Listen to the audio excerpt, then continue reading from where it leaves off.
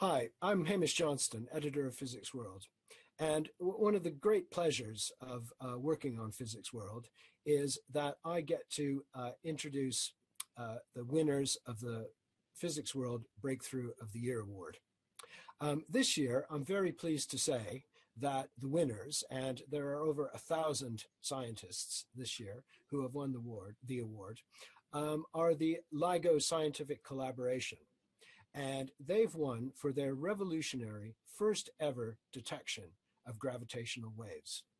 Um, the, the waves that they detected uh, were made by two coalescing black holes. And um, th this sort of gravitational wave was first predicted um, nearly uh, 100 years before it was discovered by um, Albert Einstein and his um, general theory of relativity. Um, uh, not only have they uh, made a first detection of gravitational waves, um, shortly after, um, they detected um, a second gravitational wave, also from coalescing black holes. Um, the Breakthrough of the Year award is chosen by uh, Physics World editors, and there are four main criteria that we use. Um, the first is that it has to be of funda fundamental importance to physics research. The second is that it has to represent a significant advance in knowledge. It also has to have a strong connection between theory and experiment. And I think it's very safe to say that the detection of gravitational waves has that. And finally, it has to be of general interest to all physicists. And again, this was not only of interest to physicists, this was of interest to everybody around the world. Um, so I'm very, very happy to say that six members of the LIGO team are here with me uh, in cyberspace. Um, in Washington, D.C., um, we're, joined, we're joined by uh, Gabriela Gonzalez, who is the spokesperson for um, the LIGO scientific collaboration. We've got um, Alessandra Papa, who is uh, a member of the collaboration and from the Max Planck Institute for Gravitational Physics. We've got Brian O'Reilly, who works at LIGO Livingston. Uh, there are two LIGO detectors, one in Hanford, Washington, and the other in Livingston, Louisiana. Um, and um, finally, we've got um, Mike Landry, who's also in Washington, and he works at the uh, Hanford detector. Um, coming across uh, the Atlantic in uh, Glasgow at the University of Glasgow, We've got um, uh, Sheila Rowan, who is uh, director of the Institute of Gravitational Research there. And last but not least, in uh, at LIGO in Livingston, Louisiana, we have Joe Giaime. Um, and so, welcome everybody, and congratulations on uh, winning the Physics World uh, Breakthrough of the Year. Um, Thank you. Thank you. Thank you. So um, I've I've got a few questions uh, for our panel. We're really lucky to have an esteemed panel of gravitational wave experts here. Um, and the, the, the, first question, um, uh, this is a question for Mike, Mike Landry. Um, can you uh, recall the moment when you realized that LIGO had indeed detected a gravitational wave? And what, what was that like? Yeah, sure. Thanks, Hamish. Uh, I'm, I'm going to talk with Brian about this too and, and let him actually start. Uh, but the, the one thing I'll say just to open is just that the event, uh, it's not a quite a eureka moment. You, you realize you've got something interesting in the detector and it takes really months to convince yourself that you have an actual gravitational wave. So maybe Brian can lead off about it. Yeah, so the, the setup for advanced LIGO, we had a an engineering run, what we call an engineering run to shake down the detectors that was a very successful engineering run this time. Um, by the time we got towards the end, everything was running really smoothly. Uh, we had a meeting of what we call our joint run planning committee on the Thursday, where we were trying to decide when exactly to begin the observing run proper. And we waited a few days to let the final uh, touches be applied so that we could instantly send alerts to our electromagnetic observing partners. So we were still technically in the engineering run, but with very good detectors, as we as we found out when we let them run for weeks and weeks to collect background on this event. So I came in on Monday morning, and the operator said that he'd received a phone call or a, a phone call in, in the middle of the night. Actually, I think it was on the TeamSpeak uh, speaker that they've opened, asking if if the detectors were running because this person had seen some kind of an event. So it was quite unusual. It turned out later we traced that to uh, a postdoc in Germany, and so I went to our nine o'clock uh, morning meeting. It's kind of a group leads meeting at Livingston that we have every week, and I mentioned this event and so at that stage, it was a curiosity. We didn't know if there was something going on, if somebody had made an injection and it had been, you know, picked up. There was a, a paucity of information. And so let me throw it over to Mike now to continue the story. Sure. Thanks, Brian. Uh, so uh, many of us in North America woke up to this email uh, from postdocs uh, Marco Drago and Andy Lundgren at the AEI and in Germany saying that there was this interesting uh, trigger in the data and could it be real or could it be an injection? So, so what's an injection? We uh, simulate uh, gravitational waves in our detector. You, you, have to know something about general relativity and the response of the detector, and you really actuate on the arms of the detector to, to mimic at the output of the gravitational uh, wave port uh, something that looks like a gravitational wave and so people knew this could happen that we could put we would could have an injection we could have a flavor of injection which is blind where we don't tell the collaboration that there's been an event and uh, so many of us when we came into the observatories were asking the question you know it was could this be a blind injection? And so i talked to our blind injection uh, lead at hanford jeff kissel and and i couldn't ask him whether or not we had a blind injection but i could ask him are we in a phase in which we could expect a blind injection? Because the collaboration can know that and to my amazement jeff said no. And so that started the process really of understanding this wasn't a wasn't an injection uh, but was rather a, a, really interesting trigger and it, and it takes months to, to sort after that. Yeah so so at the uh, 11 o'clock meeting for detector characterization um, Michael made this uh, announcement on on on the TeamSpeak that this was definitively not a blind injection. And I, I, remember at Livingston, the whole mood in the room changed, and that started this roller coaster of meetings and discussions and trying to track down every conceivable loophole.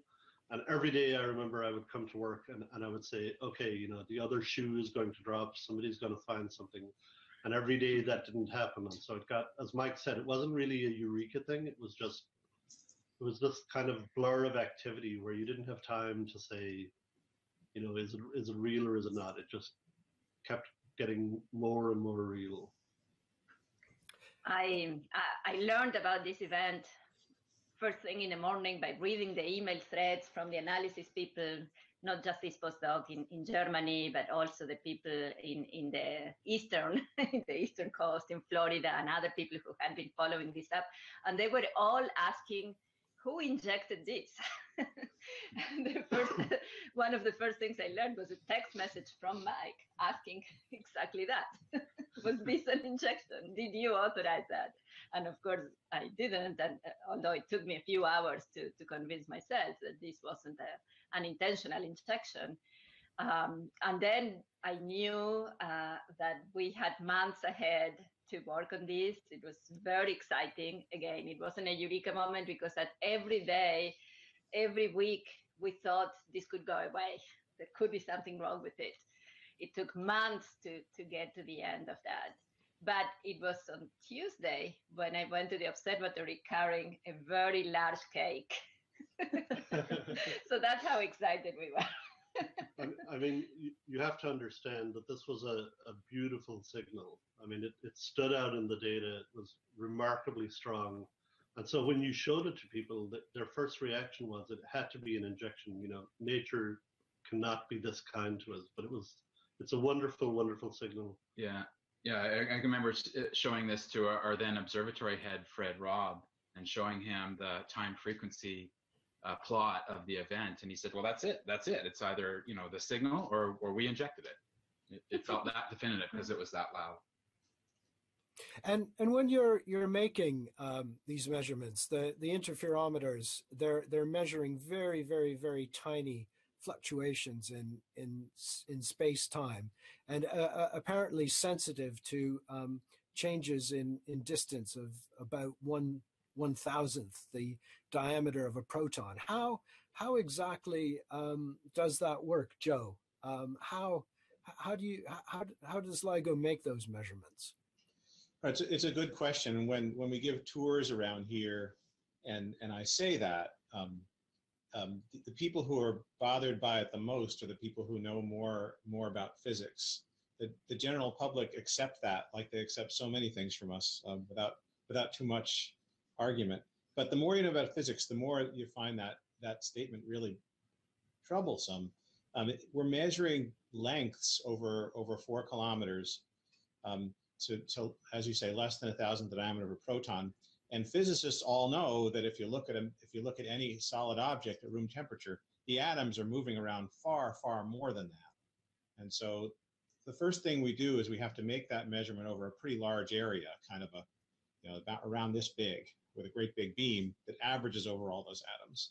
We need to use a lot of light so that we can have a great, a, a, a, so there's a lot of photons involved. And so this, the photon statistics aren't an issue. And then finally, just standing around out here in a field at the observatory, your feet are moving around by a millionth of a meter. So that's way too big. So one, one of the one of the things we have to, to, to, to account for is to make sure that the mirrors that are between which we're making the measurement, those mirrors are really well isolated from ground vibration. Um, and so we do that a number of ways. We start from the outside of the ground. This actually, this crazy looking thing over here is one of, one of the pieces we use that's an actuator that essentially pushes around the whole in vacuum payload in, in each, each vacuum tank so that it follows inertia rather than the noisy ground. And then it works more stages. There are many stages. And by the time you get down to the test mass, the test mass is just following gravity. It's very quiet. Sheila will tell you more about that last bit. Over. Sheila, do you have anything to uh, to add to that? Sure. So, I mean, one of the one of the you mean you talked about how tiny the measurements are that we're trying to make, how sensitive the detectors have to be, and that's actually why the field has taken so long to get to this point. We're making incredibly sensitive measurements, and so um, there actually was a whole first round of detectors, a first global network of detectors that did searches actually for several years looking for signals, didn't see anything. And I think we all kind of knew that the detectors needed better, the technology needed to be improved. So about 2010, that initial network was turned off and there were a whole set of upgrades to the technology that's inside these big observatories to make them better. And it's it's a, a very global collaboration. It's a global network of detectors, of which the LIGO observatories the, the most the, the ones that are being running first in their advanced. But at the same time as the initial detectors were run, scientists around the world were in their laboratories working on the technology to try and improve them. And so for advanced LIGO, that, that centered around a couple of things, one of which was higher powered lasers again, Joe said we needed a lot of photons in these measurements. So, so there were there were for years of laser measurements. the mirrors, again, there 40 kilograms of ultra pure glass. That's the kind of test particles that the gravitational waves actually cause to move. And, and Joe said those had to be highly isolated so that nothing else apart from a gravitational wave caused them. So we, we suspend them very, very carefully from, from pure glass fibers. So they're hanging very, very quietly. Um, four stages of isolation that they hang from. Then they're attached to those isolation systems that Joe talked about. Again, a whole set of scientists working on those. So it took a whole, that's why there are all these scientists in the collaboration, a lot of people working on the technology to make the instruments work, uh, as well as a lot figuring out how to analyze the data, understanding what signals come in, bringing that all together. So last year, when we turned them on, um, we were we were in a good place. And Sheila, the, my understanding is that the detectors have just started up again from uh, uh, another upgrade. So how, how, how much more sensitive are, are, are you now? And, um, you know, how, how many gravitational waves per month or per day could you, could you see at your current sensitivity? Well, I think I'll hand over to Gabby to answer that one.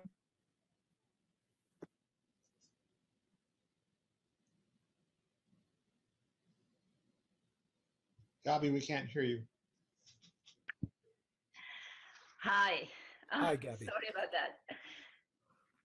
Uh, we, uh, I'm an experimental physicist, so from experience, we ran uh, with good sensitivity last year for four months.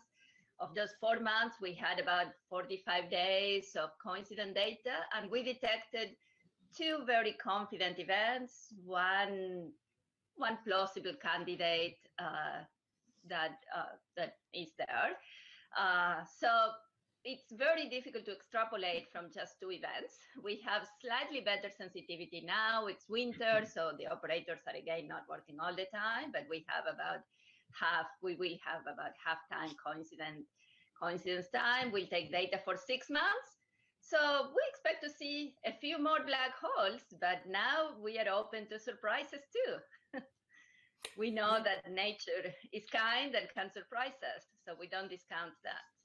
You you, you mentioned um, surprises, Gabby. Um, I've got I've got a question for um, Alessandra. The, the the two events that you've seen, and I think there's a third event that is a is a possible event.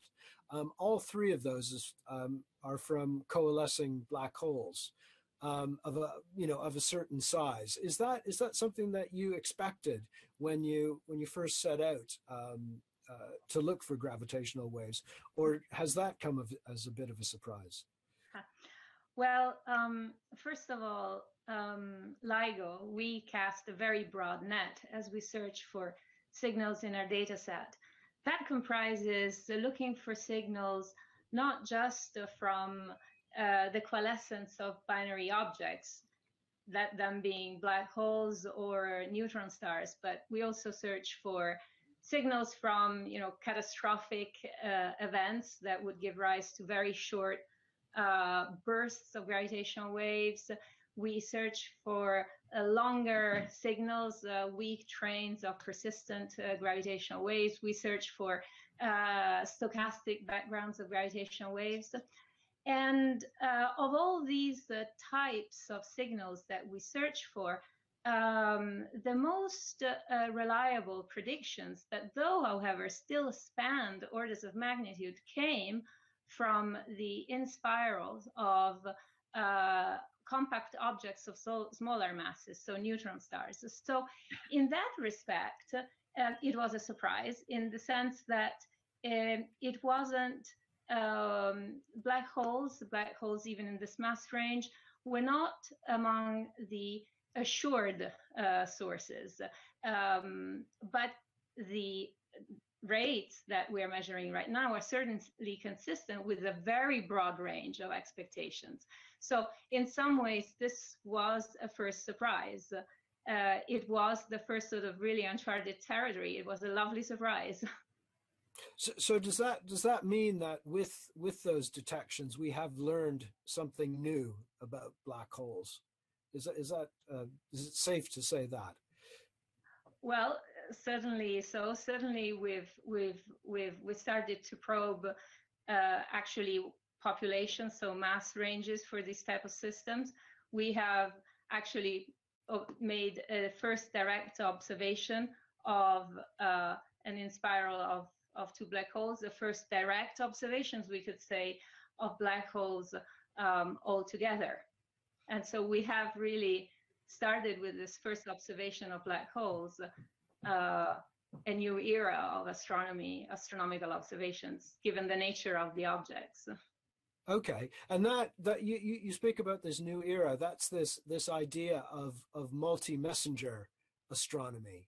Um, uh, is, is there someone there who can um, perhaps explain uh, to the audience what multi-messenger astronomy is and, and why it's important that uh, that we do it?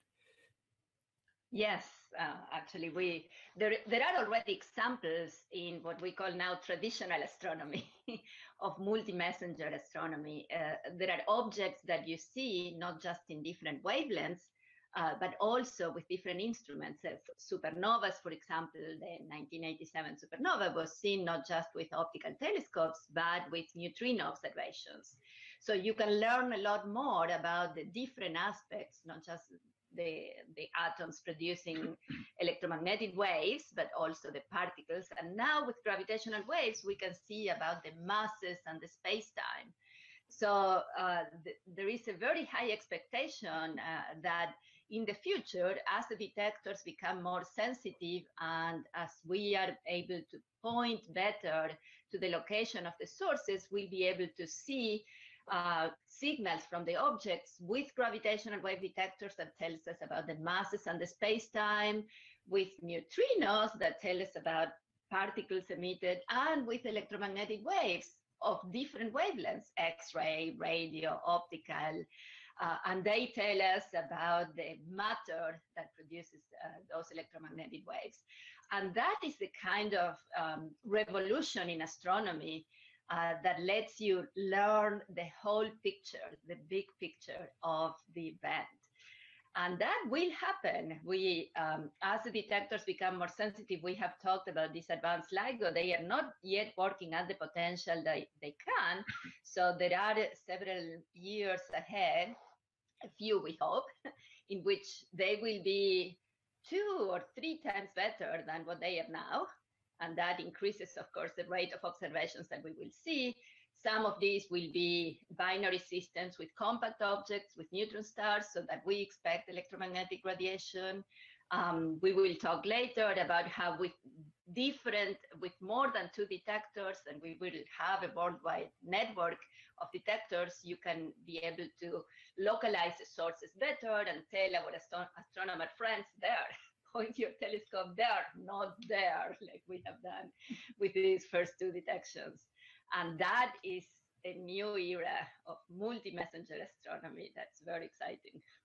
Okay, you, you, you mentioned um, having more gravitational wave detectors. Um, Mike and Joe, could you maybe explain, um, uh, maybe give us a run through of, of some of the detectors that are planned or are currently being built and how you know, how they would complement um, LIGO. Sure. Why don't I take a crack at it and Joe can follow up. Um, so everything gets better with more gravitational wave detectors. We have LIGO is these two uh, gravitational wave large-scale detectors in the United States, LIGO Hanford in Washington State, LIGO Louisiana uh, in Livingston Parish in Louisiana, and uh, a smaller detector, which is a high-frequency detector, GEO, in Germany. And with the first observations and two long, large scale interferometers uh, detecting these binary black holes, we put this error box in the sky, which was quite a large error box, as Gabby noted, something on the order of 800, 900 square degrees for those events, which is a lot of space for uh, electromagnetic astronomers to follow up on. Uh, so there's other detectors around the world that are, are uh, are built and are being commissioned now. So Virgo is a detector in uh, Pisa, in Cascina near Pisa, uh, which is a three kilometer detector, which will come online sometime next year and start making observations. And so that's a critical input, which, uh, you know, it, the detectors will, they'll be on more often with additional detectors. So the, the duty factor, your ability to sense gravitational waves goes up uh, your reach goes up in some sense, uh, and your uh, the error box that you make in the sky begins to shrink. And so the, those three detectors will, will will be online at some point next year together, uh, searching for gravitational waves. You also have Kagra, which is a Japanese experiment that is coming online in the next few years. They're already working on that interferometer is being installed right now, and in the future there'll be uh, LIGO India. So the overall network will be five detectors worldwide. Okay. And uh, in addition to, um, you know, being able to pinpoint um, uh, the, the, location of uh, the, the source of gravitational waves in the sky, is there, are, are there any, um, you know types of gravitational waves let's say that that you could detect if you used all of your detectors together that let's say you couldn't detect? Um, you know i'm thinking of uh, you know, a, a, radio telescope where you've got a number of different uh, locations to make one big uh, telescope is that possible with, with gravitational there, wave there is there is one physical phenomena that that that um that, that mike didn't mention which is that gravitational waves um, come in polarizations. So so they're they're there are two orthogonal polarizations, and and and so we expect for some of our sources that that um, that knowing both polarizations might help understand the source location in the sky and other aspects of its physics. So that's one thing you get with multiple observatories. When we built the two LIGOs, um, they were they were deliberately chosen to be maximally sensitive to the same polarization um, they're not exactly because the Earth curves, but um, the full global network will, will, will be picking up both polarizations really well. That'll help us find on where on the sky the sources are, and it'll also help us help us see essentially more sources because we're sensitive to both polarizations. Okay, great. Um, uh, uh, another question that um, that that comes to mind, um, you know, at the, at the moment, um, the announcement of of gravitational waves events, um, you know, it, it, it's a big deal. It's um, you know reported in a in a big journal, and uh, you know it's an event. Let's say, what, do, do, do, any of you have any feeling for when um, you know this will be a regular occurrence? You know, you'll come in to the office and there'll be five events on your desk. Um, uh, is, is, that something that we can see in in 10 years or is it going to be 20 years what, when do you think that'll happen i think uh, it will happen sooner than we think uh, again it takes years to tune fine tune the detectors so that we can exploit them at the potential that they have so when um, when the LIGO detectors and the Virgo detector uh, reach that sensitivity, which we expect it will be in a few years, we might have an event a month, perhaps more than an event a month, and that would be great. But just like the advanced LIGO technology and the advanced LIGO and Virgo detectors are the result of work on technology in the past decade, there are a lot of ideas and, techno- and work on technology for developing the next generation of detectors. So just like uh, optical astronomy that started with Galileo having that first telescope and then evolving every year, every decade, we have better telescopes and better technologies to look farther in the universe. That will happen with this field too. So it's not with LIGO and Virgo detectors, especially when KAGRA and LIGO India join, we will have very likely an event a month, perhaps an event a week, depending on the sensitivity of the network. But that's just the beginning. this is a good new era. It was said. It was said before, but I, I think I think it's important to note that the that the, the things we've observed so far, um, black holes in that mass range, we had no idea how many there would be. So we didn't even really have we, we didn't we didn't have a data based estimate of how many there would be. Um, the neutron stars, that's why if you'd, if you'd interviewed any of us several years ago, we would have been going on and on about neutron stars because that's the thing we'd analyzed and written about.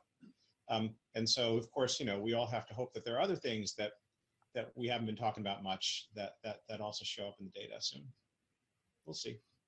And so, so when do you think that um, you know we we we could have, a, let's say, a gravitational wave map of the sky in the same way that you know we've got maps of the sky in optical frequencies and radio frequencies. What, what, when do you think we could we could see the first meaningful gravitational wave map of the sky? you want to? Thank you for. Um, whenever one makes prediction, it's easy to be proven wrong.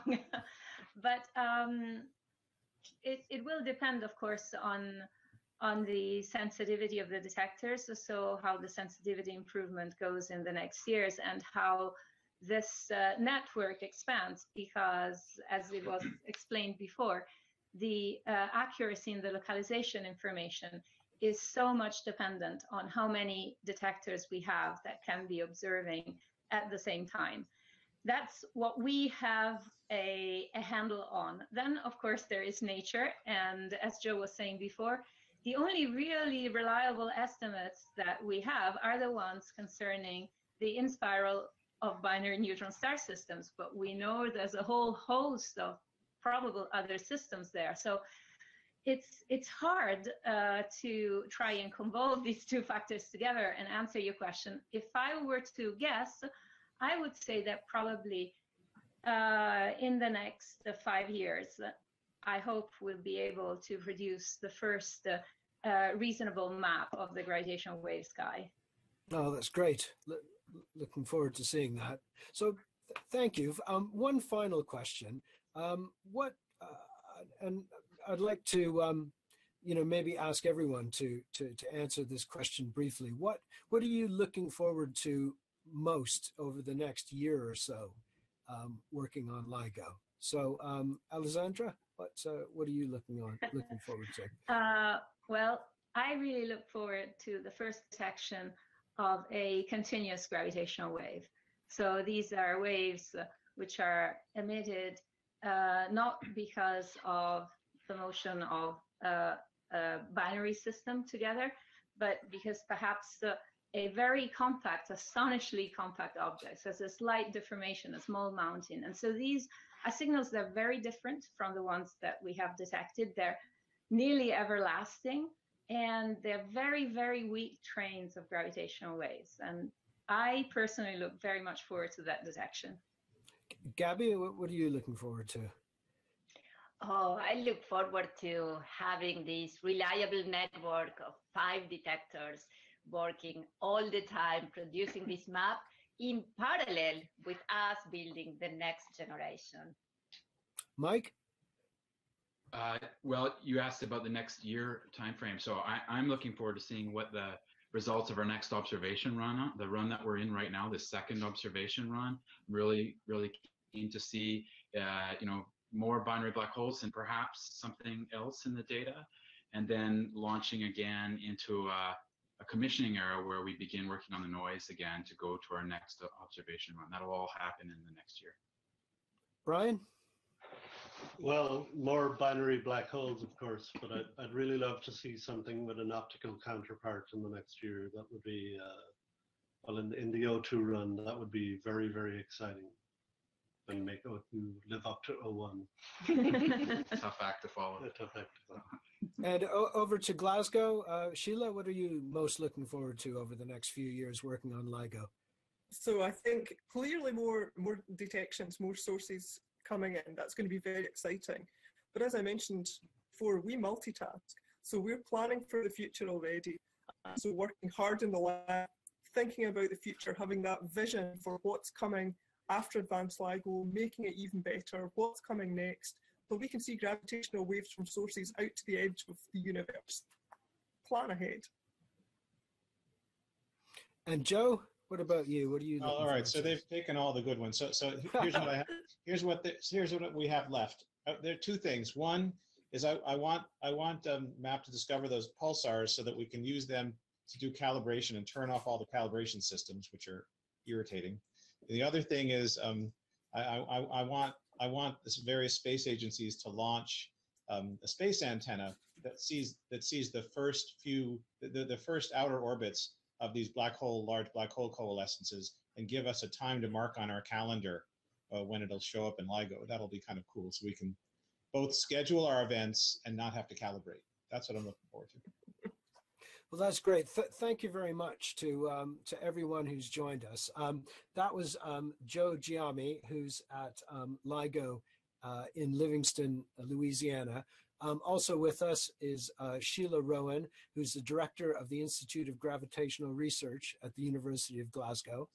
And in, in Washington, D.C., we had um, Mike Landry, who uh, works at Livingston Hanford in Washington State, Brian O'Reilly, who is at LIGO Livingston, um, Alessandra Papa, who is at the Max Planck Institute for Gravitational Physics, and Gabriela Gonzalez, who is at the uh, sorry Gabriela Gonzalez, who is at the uh, who's at Louisiana State University and is the spokesperson for uh, the LIGO scientific collaboration. I'm Hamish Johnston, the editor of physicsworld.com. Thank you very much for joining us. I think it's been a, a fantastic conversation um, about a fascinating topic. Um, there's lots more about the Physics World breakthrough of the year on uh, physicsworld.com. And you can also read about our nine runners up. Um, uh, we have nine other uh, highly commended uh, bits of physics research done in 2016, and you can read all about that on our website. So thank you very much to our guests, and thanks to, to you for watching. Bye. Thank you. Thank, Thank you. you. Bye, thank you. Thank you. Thank you. Bye bye. Bye.